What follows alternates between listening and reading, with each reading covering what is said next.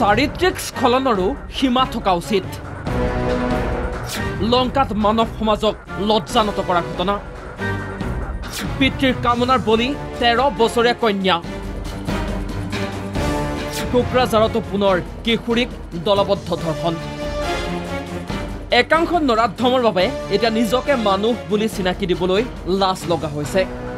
ভাল বেয়াটো বাদেই সম্পৰ্কও চিনি নাপায় একাংশ সমাজৰ আৱৰ্জনাই লংকাৰ লস্কৰ পথাৰত সংঘটিত হৈছে জঘন্য ধৰ্ষণৰ ঘটনা।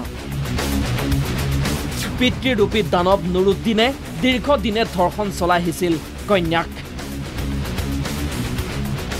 পিতৃৰ অপকৰ্মৰ কথা নিজ মুখে স্বীকাৰ কৰিছে ভুক্তভোগী কিশোৰীয়ে। তাৰ পিছতে স্থানীয় ৰাইজে ধৰি কটাই দিয়ে আৰক্ষীক।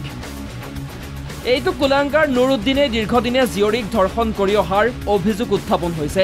পিতৃ আৰু কন্যা সন্তানৰ মাজৰ যি মধুৰ সম্পৰ্ক সেই মধুৰ সম্পৰ্কক কালিমা সানিলে এইটো নুৰুদ্দিনে। স্থানীয় ৰাইজে নুৰুদ্দিনক গতাই দিছে আৰক্ষীক।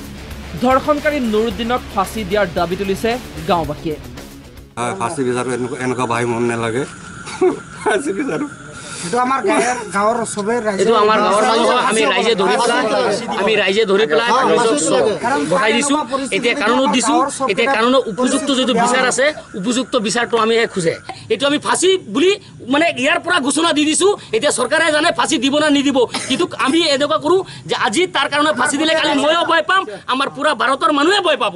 এনেকুৱা ঘটনা আজি আমাৰ গাঁৱত হৈছে কালি ক'তবা হ'ব পাৰে। এনেকুৱা ঘটনাটো আমাৰ হ'ব নালাগে আৰু। ইফালে কোকৰাঝাৰত সংঘটিত হৈছে আন এক জঘন্য ঘটনা। চালাকাটি আৰক্ষী চকীৰ অন্তৰ্গত ধলমাৰা এলেকাত সংঘটিত হৈছে এই ধৰ্ষণ কাণ্ড। তিনি পাখণ্ডই মুখত সোপা দি নিৰ্যাতন চলাইছিল কিশোৰীগৰাকীক।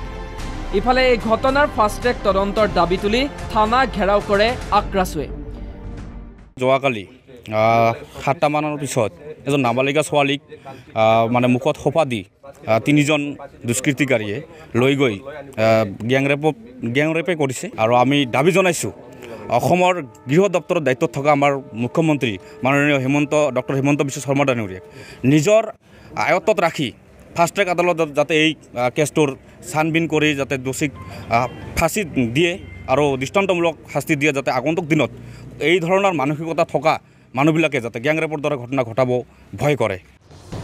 ঘটনা সংঘটিত কৰা দুই ধৰ্ষণকাৰী ফাকুৰুদ্দিন ইছলাম আৰু ছামেজ উদ্দিনক গ্ৰেপ্তাৰ কৰিছে আৰক্ষীয়ে। এতিয়াও পলাতক আন এটা ধৰ্ষণকাৰী। এতিয়া ভুক্তভোগী কিশোৰীগৰাকীৰ ন্যায় বিচৰাৰ লগতে দোষীয়ে কঠোৰৰ পৰা কঠোৰতম শাস্তি প্ৰদানৰ দাবী তুলিছে স্থানীয় ৰাইজে। লংকাৰ পৰা দীপজ্যোতিৰ পৰা আৰু কোকৰাঝাৰৰ পৰা কনক চন্দ্ৰ বড়োৰ ৰিপৰ্ট দ্য নিউজ প্লাছ।